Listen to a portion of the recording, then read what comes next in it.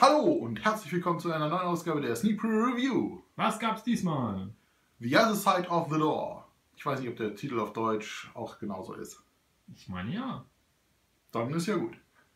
Ich habe ihn nämlich auf Englisch gesehen. Ähm, ja, das ist ein Horrorfilm, der äh, in Indien spielt, aber es geht um eine amerikanische Familie, die in Indien wohnt.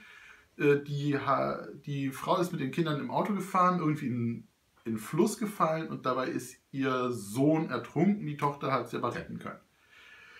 Und mit dieser Sache kommt sie irgendwie nicht klar und und und. Und da kommt dann irgendwann ihre indische Hausangestellte auf die Idee zu sagen, es gibt eine Möglichkeit in meinem Dorf, da im Wald, da gibt es einen Tempel. Den Tempel des Todes? Nein. Oh. Da ist äh, quasi der Übergang, dort ist die, äh, da ist die Linie zwischen der Welt der Lebenden und der Welt der Toten ganz dünn. Da gehst in den Tempel rein, streust die Asche deines toten Kindes auf die Treppe des Tempels, gehst rein, machst die Tür zu und dann bleibst du die ganze Nacht drin, kannst durch die Tür mit dem reden, aber du machst auf gar keinen Fall die Tür auf. Ja, ich habe so eine Idee, was passiert. Vollkommen richtig, natürlich wird die Tür aufgemacht. Oh. Und äh, auch alle weiteren Tipps, wie man das Problem lösen kann, werden erst einmal ignoriert.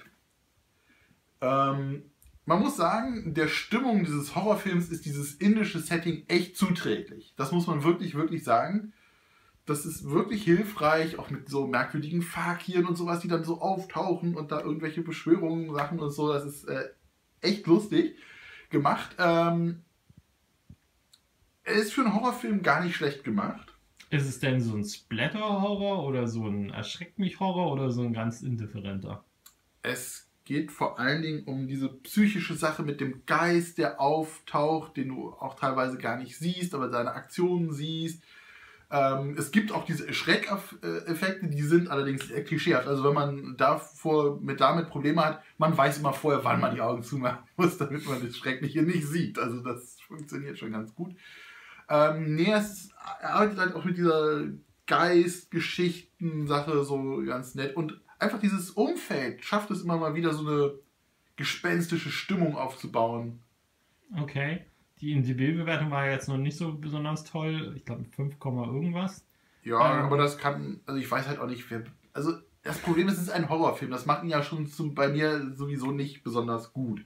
Ja, vielleicht bei anderen auch. Er ist halt kein Thriller oder sowas nebenbei noch. Einige sind ja so Horror-Thriller-mäßig. Nein, das ist er nicht. Ist auch kein Splatter groß. Ähm, Laufzeit, ich glaube, eine Stunde 30, 33 irgendwie rum. Ja, also ich hatte auch den Eindruck, der dauert anderthalb Stunden. Ja, fühlt sich auch so an und. Ungefähr, ja. Passt schon. Keine Längen. Wenig Längen. Also man denkt dann so manchmal, hm, und ansonsten äh, schöne Indien-Aufnahmen halt. Wie ist Indien beim Bahnfahren? Wie ist der indische Straßenverkehr? Viele Tata-Fahrzeuge. Das erwarte ich von Horrorfilmen. Schöne Landschaftsaufnahmen. Ja, natürlich. Ja, der Film läuft jetzt erst äh, Anfang Juni an. Äh, lohnt es sich bis dahin zu warten oder? Bleibt einem was anderes übrig, wenn man nicht auf böse Raubkopien zurückgreifen möchte. Ich dachte vielleicht äh, Auslandsreisen oder man wartet einfach noch länger, bis er dann auf DVD raus ist weiß nicht, also ich bin jetzt kein großer Horror-Fan, weswegen ich sagen würde, das lohnt dann sowieso nie in Horrorfilme zu gehen, damit das Genre einfach abebbt. Äh, ja. Aber für sein Genre ist er jetzt nicht das Schlimmste, was es gibt. Also, ich habe gesehen, The Boy läuft jetzt, den fand ich jetzt auch nicht so doll. Den hatten wir ja schon mal besprochen. Okay, ja. Na dann, schauen wir uns lieber Frankenstein an, das tut ja sonst keiner. Dankeschön. Genau. Und damit bis zum nächsten Mal.